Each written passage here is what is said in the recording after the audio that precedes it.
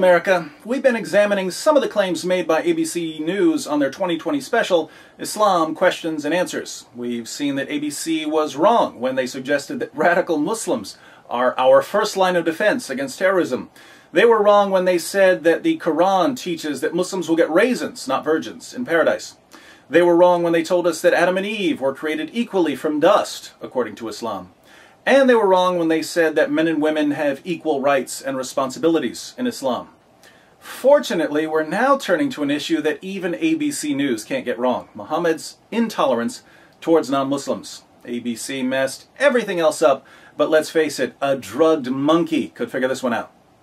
So, I guess I'll just sit back and drink a cup of tea while ABC World News anchor Diane Sawyer does what she does best and uses her journalistic expertise to expose Muhammad's clear commands to oppress and subjugate unbelievers. Let him have it, Diane. And Muhammad said that we should all be tolerant of each other's religion. What in the lowest pit of Hades did you just say? And Muhammad said that we should all be tolerant of each other's religion. Our differences are God's mercy. Our differences are God's mercy? You're telling us that Muhammad said these words. I wonder if the clip will make more sense if I play it backwards.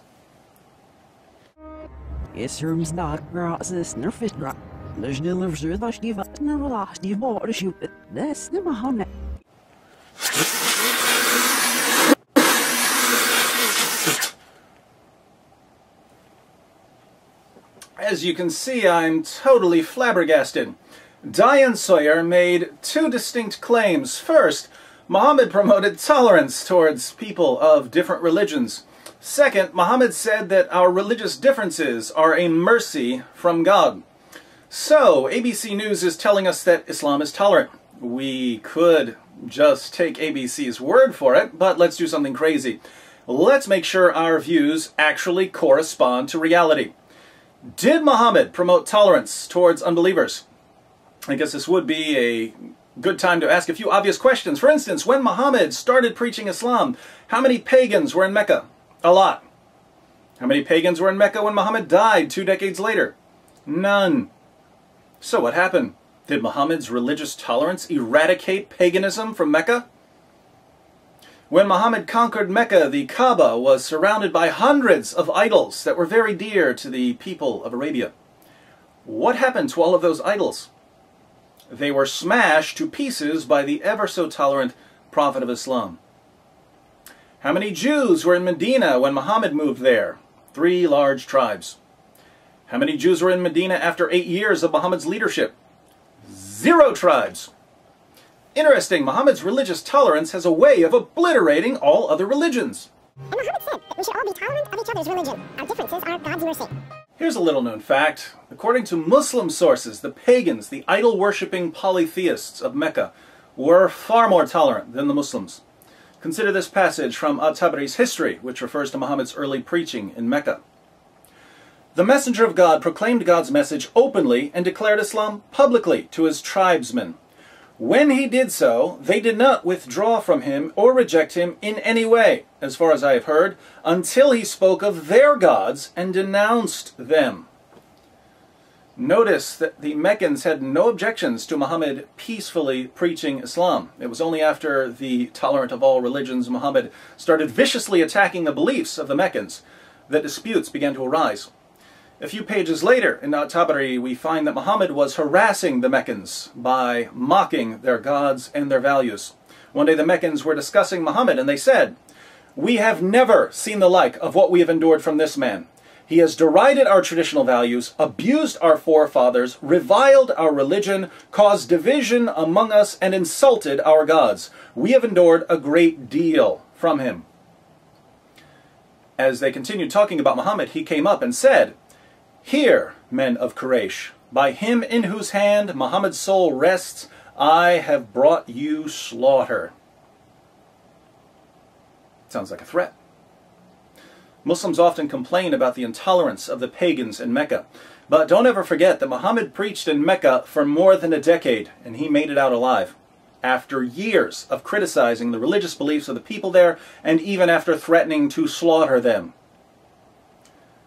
Would I survive for 10 years in Mecca today if I stood in the streets and mocked the religious beliefs of the people who live there? Would I last 10 days? 10 minutes? We'll never know because, thanks to Muhammad's teachings, non Muslims aren't even allowed in the city. And Muhammad said that we should all be tolerant of each other's religion. And Muhammad said that we should all be tolerant of each other's religion. And Muhammad said that we should all be tolerant of each other's religion. And Muhammad said that we should all be tolerant of each other's religion. So the pagans were far more tolerant of Muhammad and his followers. But that's the pagans. Islam has a higher view of Christians and Jews. We have to keep in mind, however, that according to Islam, there's a world of difference between Muslims on the one hand and Christians and Jews on the other. While Muslims are the greatest people in the world, Christians and Jews are the worst of creatures. The Quran declares in Surah 3, verse 110, Ye are the best of peoples. Muslims are the best of peoples, evolved for mankind, enjoining what is right, forbidding what is wrong, and believing in God.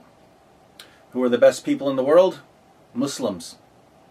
And in Surah 98.6 we read, Verily, those who disbelieve in the religion of Islam, the Quran, and Prophet Muhammad, from among the people of the Scripture, Jews and Christians, and al-mushrikun will abide in the fire of hell. They are the worst of creatures. Now, if we're the worst of creatures and Muslims are the best people in the world, don't you think this might put an obstacle in the way of Muslims seeking genuine friendships with non-Muslims? Especially when the Quran says things like, O you who believe, do not take the Jews and the Christians for friends, they are friends of each other. And whoever amongst you takes them for a friend, then surely he is one of them.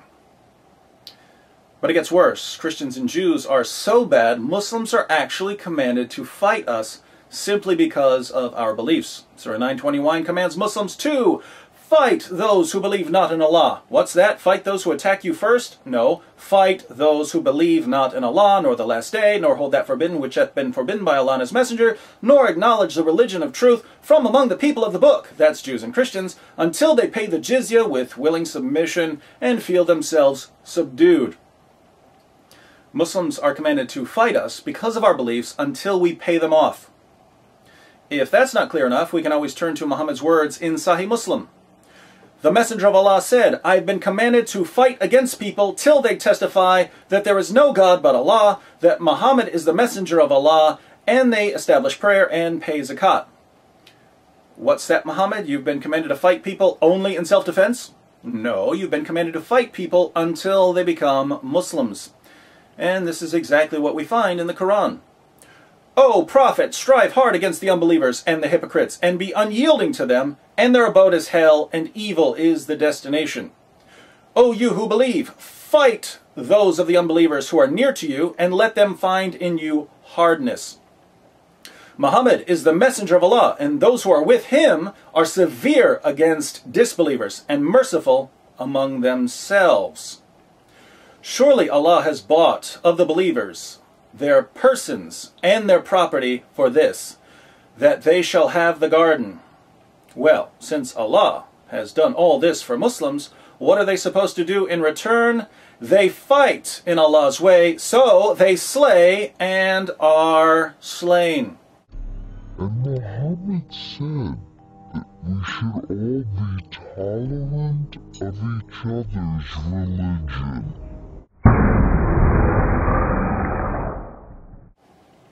So Muhammad harassed the pagans for years. He derided their values, abused their forefathers, reviled their religion, caused division among them, and insulted their gods. That's what he did when he didn't have an army.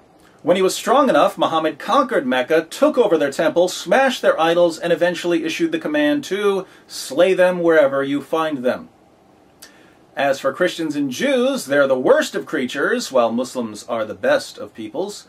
Muslims can't be friends with Jews and Christians. Muslims are commanded to fight and subjugate Jews and Christians because of our beliefs. And Muslims are merciful among themselves, but severe against who? Unbelievers. And Muhammad said that we should all be tolerant of each other's religion.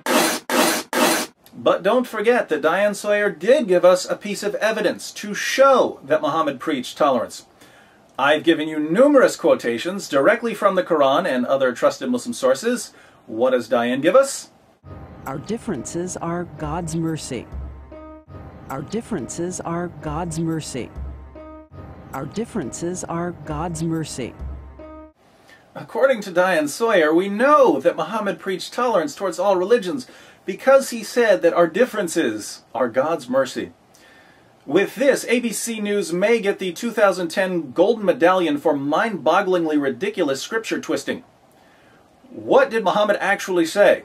I should probably point out that according to most Muslims, we don't know, since the various versions of the quotation are classified as daif, weak hadith that can't be trusted. Most Muslims reject weak hadith. Some scholars even say that the quotation doesn't go back to Muhammad at all. It goes back to a later Muslim. But I'm not crazy about the Muslim methodology, so let's grant ABC News their weak hadith. What does it actually say? Does it command Muslims to be tolerant towards everyone because different religious beliefs are God's mercy? No, it says, the difference of opinions of my companions is a mercy for my ummah. The ummah is the community of Muslims. Is there anything in this quotation about being tolerant towards other religions? Absolutely not. In fact, Muslim commentators are quite clear that this narration isn't even about Muslim doctrine, which they believe is set in stone. Instead, it has to do with certain differences of opinion concerning minor Muslim practices, the sorts of differences you'll find among the four schools of Islamic jurisprudence in Sunni Islam. The idea, according to Muslim scholars, is that if there were no differences of opinion among Muhammad's companions, any little mistake a Muslim made would classify him as an unbeliever. Therefore, it's good that there are differences of opinion when it comes to the little things. You can do some different things and not worry about accidentally apostatizing and having your head chopped off. That's why these differences are a mercy from Allah. But what does Diane Sawyer do with the passage? She doesn't give us the actual quotation, so we can't see what Muhammad really said. She doesn't give us the reference, so we can't even look it up. She totally twists the meaning from differences of opinion among Muhammad's companions are okay to differences among religions are okay. And she completely ignores all of the clear passages where Muhammad commands his followers to fight, subjugate, and even kill non-Muslims simply because they're non-Muslims. This is how ABC News convinces Western viewers that Muhammad was tolerant and peaceful. And Muhammad said that we should all be tolerant of each other's religion. Our differences are God's mercy. Now, given what we've seen in our past several videos, I have to ask ABC an important question. If you can only defend this religion by twisting the facts and inventing things and ignoring everything that even remotely resembles careful scholarship, if you can only make Islam seem compatible with Western values by misrepresentation and distortion and outright deception, doesn't this tell us something about Islam? If Islam really were the force of freedom and equality and tolerance that ABC News wants us to believe it is, wouldn't Diane Sawyer be able to open the Quran and the Hadith and prove her claims by accurately presenting us with the teachings of Islam? Shame on you, ABC.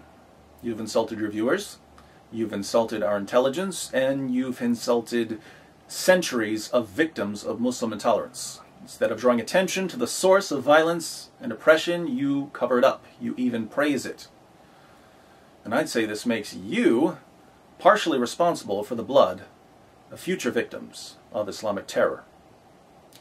We've been putting up with this for far too long, and I think I speak for millions of Americans when I say, enough already.